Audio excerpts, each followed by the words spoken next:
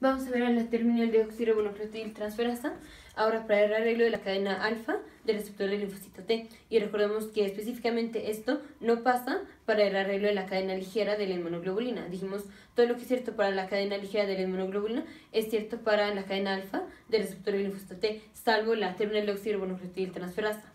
Entonces, en el video anterior ya vimos cómo la terminal de oxirribonucleotil transferasa pone nucleótidos al azar cuando vimos el arreglo de la cadena pesada de la inmunoglobulina o de la cadena beta del receptor del linfocito T. Y vimos que al poner nucleótidos al azar entre el segmento B y el segmento D, o entre el segmento D y el segmento J, al poner nucleótidos al azar hace que se recorran las secuencias. Y entonces cambian las Ds y las Bs, van a cambiar. Ahora vamos a ver lo mismo, pero pues nada más para el arreglo de la cadena alfa del receptor del linfocito T. Y recordemos que aquí no tenemos segmento, no tenemos segmento D, solo tenemos segmento B y segmento J. Y es en estos segmentos en donde la terminal de oxirribonucleotil transferasa va a poner los nucleótidos al azar. Entonces, vamos a poner, aquí estaba el DNA, aquí estaba el DNA, y dijimos tenemos las Bs, este segmento B1, segmento B2, segmento B3, y luego tenemos las J.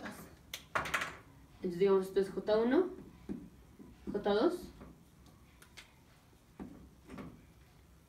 y J3. Así fue como lo vimos en el video anterior cuando vimos el arreglo de la cadena ligera o el arreglo de la cadena alfa del receptor del linfocito T. Pero ahorita lo que viene ya nada más va a ser para la cadena alfa del receptor del linfocito T. Entonces seguimos. ¿Qué es lo que hace la terminal de oxirribonucleotil transferasa? Voy a poner nucleótidos aquí al azar. Entonces, antes de poner los nucleótidos, vamos a poner, como lo hicimos en el video anterior, vamos a poner una secuencia, una secuencia de DNA. Obviamente puedo hacer una secuencia inventada, pero vamos a poner nucleótidos. Entonces, digamos A, A, C, C, G, G, A, T, T, T, A, A, T, C, G, G, A, A. Entonces vamos a ponerlo por segmentos, digamos, este es B1, este es B2, este es B3, Obviamente cada segmento abarca más de tres nucleótidos. Yo estoy poniendo como de 3 en 3, pero obviamente abarca mucho más de tres nucleótidos. Seguimos. Luego aquí tenemos una secuencia que no tiene una secuencia interviniendo. Y luego tenemos aquí J1. Entonces, J1, J2 y J3. Ahora vamos a poner qué es lo que es la terminal de oxirribonucleotil transferasa. Entonces vamos a poner igual en la cadena de DNA aquí. Aquí está la cadena de DNA pero va a poner nucleótidos al azar aquí. Entonces, aquí, ahora vamos a tener nucleótidos al azar. Entonces, aquí entre las B y las J, va a poner nucleótidos, los va a poner rojo, para que se distingan que son los que puso al azar la terminal de oxirribonucleotil transferasa. Y vamos a poner igual esta secuencia. Entonces, empezamos con, tenemos A, C, C, A, A, C, C, G, G, A, T, T, y ahora aquí, digamos que aquí es donde voy a poner nucleótidos al azar. Entonces, lo que sea A, A, C, C, G, G, A, A, T, T, una secuencia al azar, lo que sea. Y seguimos con las, con, con esto teníamos T y luego seguimos con las J. T y luego A, A, T, C, G, G, A, A. Entonces, esto fue lo nuevo que puso la terminal de oxirribonucleotil transferasa ella metió estos nucleótidos al azar. Entonces, ¿qué pasa? Dijimos, este es B1, esto sigue siendo B1, este es B2, esto sigue siendo B2, este es B3, B3. Luego viene esta secuencia y luego viene J1, J2 y J3. Entonces, digamos J1, ¿qué es esto? J1, J2 y J3. ¿Qué fue lo que pasó? Obviamente las secuencias que están aquí siendo abarcadas por J1, por J2 y J3 son secuencias o son nucleótidos distintos a los que tenemos aquí, J1, J2 y J3. ¿Por qué? Porque como la terminal de oxirribonucleotil transferasa metió nucleótidos al azar, hizo corrimiento de todas las demás secuencias, hizo corrimiento de las demás secuencias. Entonces, aquí al poner nucleótidos al azar, lo que J1 antes era AAT, por ejemplo, ahora J1 va a ser AATT. Lo que J3 era AA, digamos, ahora es CGGAA. ¿Por qué? Porque la terminal de oxirribonucleotil transferasa metió nucleótidos al azar. Y entonces, en donde equivale tener el segmento J1, en donde equivale tener el segmento J1, como pusimos nucleótidos al azar, pues la secuencia se recorre. Entonces, vamos a ponerlo igual, pero aquí abajo para que quede más claro. Entonces, seguimos con la secuencia igual. A, seguimos A, A, C, C, G, G, A, T, T. Y luego viene la secuencia la secuencia que puso la terminal de oxirribonucleotil transferasa, que fue lo que puso A, A, C, C, G, G, A, A, T, T, y luego seguimos con esto, T, T, A, A, T, C, G, G, A, A.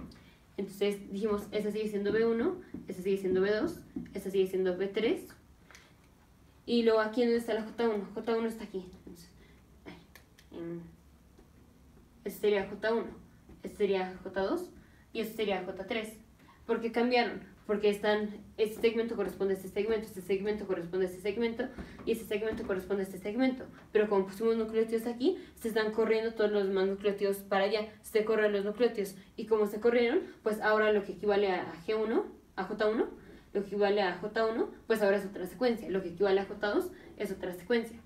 Entonces, ¿qué es lo que pasa? Ahora que tenemos que elegir una B, una, una B y una J para el arreglo de la cadena alfa de la, del receptor del linfocito T, pues ahora ya cambiaron, las J que teníamos antes ya cambiaron, ya no son las mismas, ya tenemos una secuencia distinta. ¿Por qué? Porque la terminal de oxirribonucleotil transferasa metió nucleótidos al azar y esto corrió todos los nucleótidos para allá. Y entonces aquí este es el segmento J1, por ejemplo, ya tiene una secuencia distinta. J3 tiene una secuencia distinta.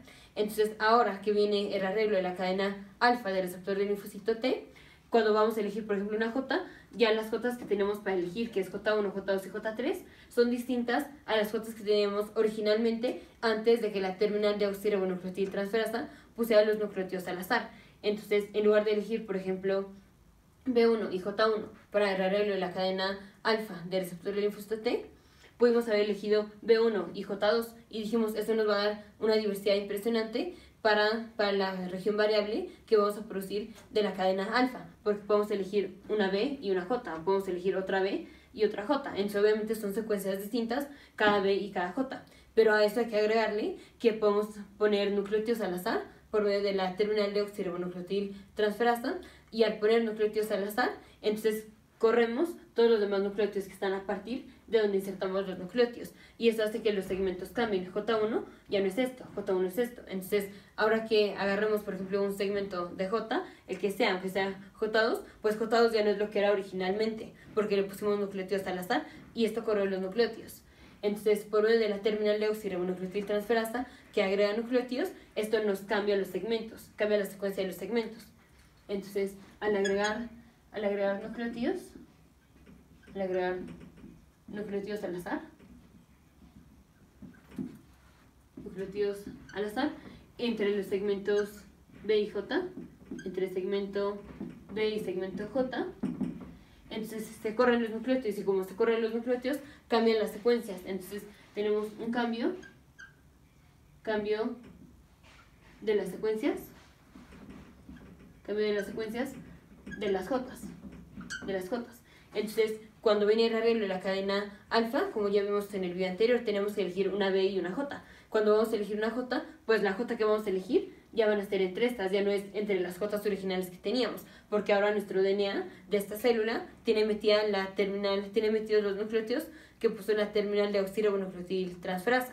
Y entonces ahora las J que vamos a elegir son J distintas a las originales. Y esto nos da aún más diversidad. Si de por si tenemos diversidad por, porque podemos elegir cualquier B con cualquier J, ahora hay que agregarle que tenemos más diversidad porque las J están cambiando. porque están cambiando? Porque la terminal de oxirribonucleotil transferasa posee nucleótidos al azar que recorren las secuencias.